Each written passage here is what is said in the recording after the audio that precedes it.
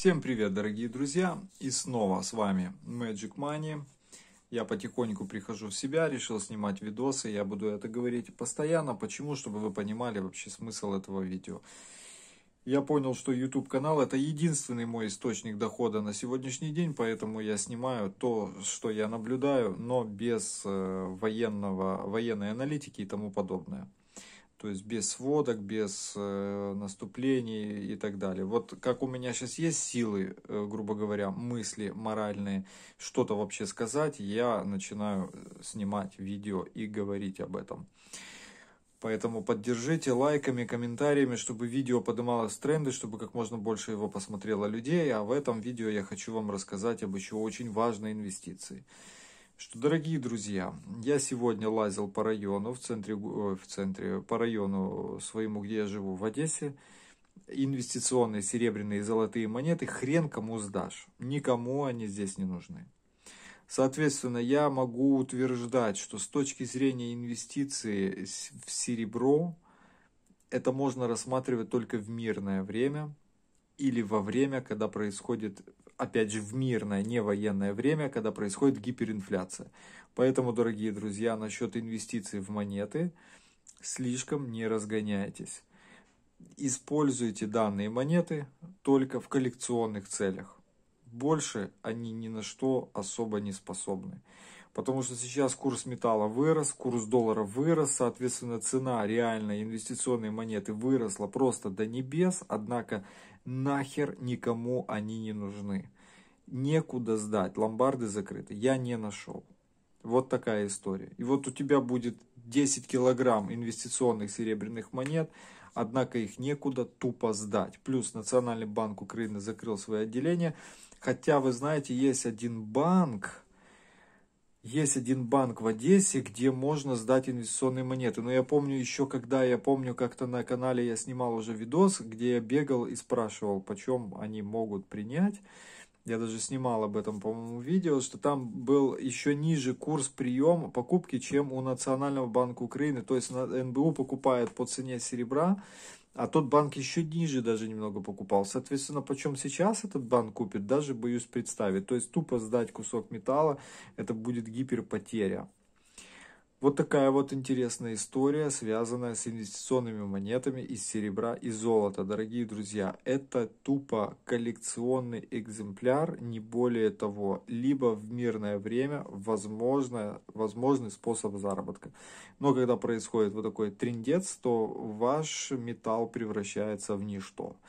Да, если у вас есть возможность выбраться за границу, взять эти монеты с собой, то там вы шоколадно себя будете чувствовать. То есть, в принципе, с точки зрения диверсификации рисков, например, вы имеете доллары, евро, там национальную валюту, еще какие-то, может быть, другие валюты, и инвестиционные монеты из серебра, золота, и вы покинули территорию военных действий, то есть, допустим, вот если бы я из Украины успел там выехать, хотя бы даже в ту же Молдавию, то я бы смог там теоретически где-то найти, через кого знакомых туда-сюда, как-то их раскидать, и можно было бы, в принципе, неплохо там себя, грубо говоря, прочувствовать.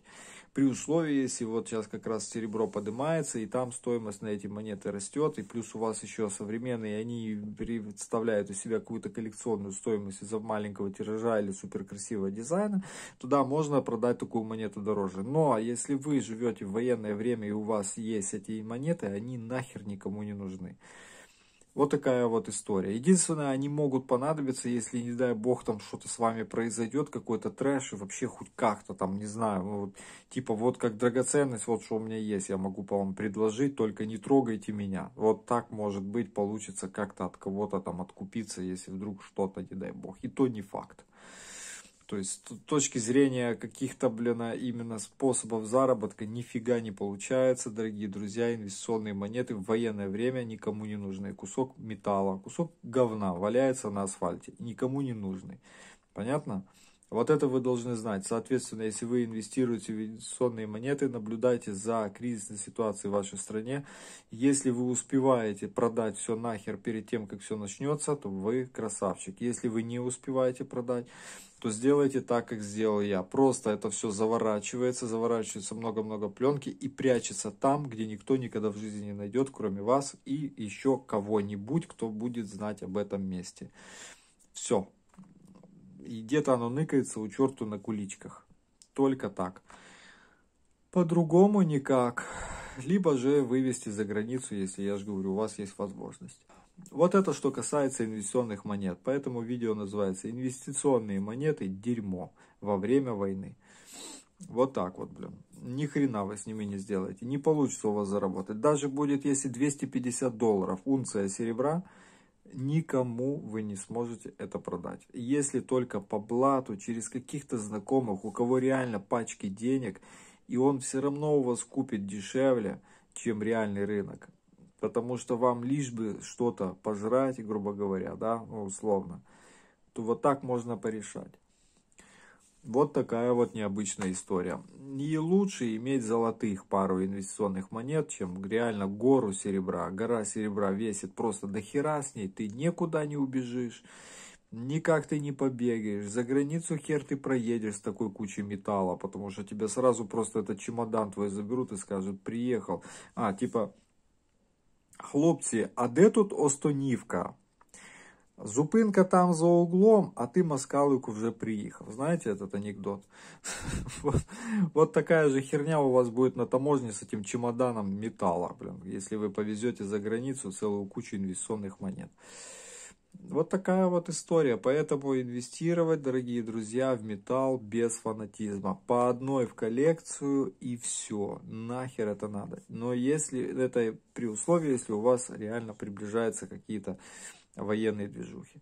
Вот сейчас в Украине у нас жопа, война, реально, падают бомбы, умирает куча людей, полный трэш вообще, я просто в шоке.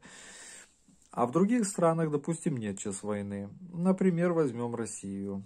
Там сейчас не сладко. Да, у них нет войны, не падают бомбы. Но я думаю, там только веселье начинается. И вот куда они будут девать свои инвестиционные монетки, интересно, даже в мирное время. Да, может у кого будут денег ради коллекции по одной себе и будут брать в коллекцию, однако по какой цене еще вопрос. Это тоже очень серьезный вопрос. Так что, дорогие друзья, натворили делов нашей политики. Это уже невозможно забыть, это незабываемое. И эту историю мы просматриваем сейчас, как она есть, мы ее видим, мы ее наблюдаем. Разбомбили нашу Мрию по непонятной причине до сих пор для меня, блин, кому она мешала. Самый большой самолет в мире. Вот в этом альбоме осталась эта фотография. Мне это очень нравится, что есть здесь эта фотография. Это наша память, наша гордость. У кого есть этот альбом, я думаю, сейчас он очень доволен, что у него есть этот альбом. Если у вас нет этого альбома, то я даже не представляю, когда он новый такой появится. Потому что делались эти альбомы в Санкт-Петербурге, дорогие друзья. И когда я туда попаду в следующий раз, неизвестно. Мне писали, ты же ездил в Россию, и что, и что, что я ездил в Россию? Я что там, восхвалял власть это что ли, или что, я не понял. Я ездил туда по делу, я делал там для нас то, что у нас стоило в пять раз дороже. Поэтому я туда ездил. Если кому непонятно, да, вот, ну, если вам непонятно, какого хера я туда ездил, я вам сейчас это сказал. Я ездил делать альбомы для нас, потому что там это было дешевле. Не более того. И вот результат. У нас осталась хоть такая, ну, память. И альбомов больше этих нет. Когда я туда попаду, неизвестно. И попаду ли я туда вообще, тоже неизвестно. Все. У кого есть эти альбомы, вам очень крупно повезло. У вас есть замечательная память. У меня есть замечательная память. Мы будем помнить эту историю. Мы ее сейчас проживаем. Это страшно, это неприятно. Ну, как есть. Я, вы даже сами, наверное, видите, как я говорю. Я говорю как какой-то наркоман, потому что реально мозги уже плывут. от того, что происходит. И вот еще что в этом альбоме есть. Вот наш корабль. Вроде бы его тоже уже нет, по-моему, да, или нет? Если его тоже нет, это просто капец. Напишите в комментариях. Гетман Сагайдачный, наш военный флагман. Вот, вот, понимаете, в чем гордость этого альбома? Обалдеть можно. Я в шоке. Я просто в шоке. Вот наши трамваи здесь нарисованы. Здесь даже описаны они. Обалдеть, а. Вот наши поезда. Этих поездов всего два. Я надеюсь, они останутся, блин. Ну, потому что это будет уже вообще просто кощунство нахер. Я просто вообще, это, это не забыть, блин. Это просто не, у меня столько слов, но я не могу их говорить. Вы можете в комментариях писать. Вы понимаете, что я говорю, да? Мой посыл. А вы можете писать в комментариях. То, что вы об этом всем думаете. Потому что мне надо зарабатывать деньги на ютубе. Это единственный способ, при помощи которого я могу хоть каких-то денег получить когда-нибудь, если удастся вообще-то еще. Потому что это тоже еще вопрос. А будет ли работать этот банк, на который придут эти деньги? А смогу ли я снять эти деньги? А, просто жесть. Безнал не везде работает. А карточку обналичить не получается. Подписывайтесь, дорогие друзья, на канал. Попробую еще как-нибудь поснимать видео, если будет возможность. Ну, думаю, вам было уже даже этого интересно, учитывая, что 6 дней, я вообще не помню даже, когда я снимал последний раз видео. Там можно посмотреть, в принципе, но это тоже такое было. Не похоже, что это видео даже было, я уже не знаю, что это. Просто, понимаете, постоянно ты в какой-то панике думаешь, куда бежать, где прятаться, где выжить, как выжить.